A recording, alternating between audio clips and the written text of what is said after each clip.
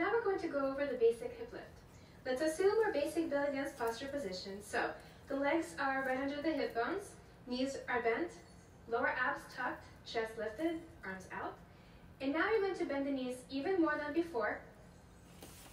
And focus on lifting one hip at a time by straightening one knee at a time. So as you straighten the right knee, the right hip will come up and it's going to shoot straight up into your body. So you want to think about kneading your hip bone up to the rib cage, coming back down to center.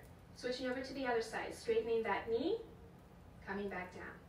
Make sure that you're keeping your heels on the floor and you're not lifting up at any point. And again, lifting the hip up and back down to neutral position. The other side, back down to neutral position. Now skip that hold in the middle you're going to go up and up and up and up.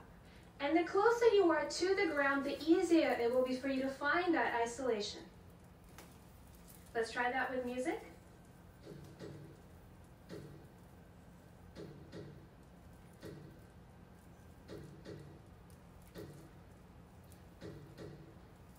And a little bit faster.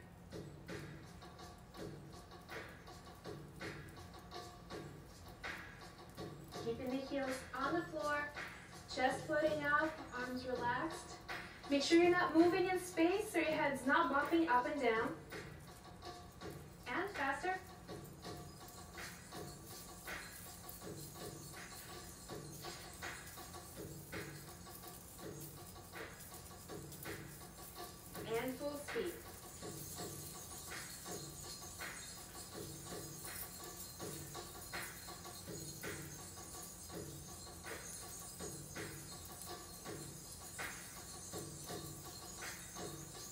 that's the basic hip isolation.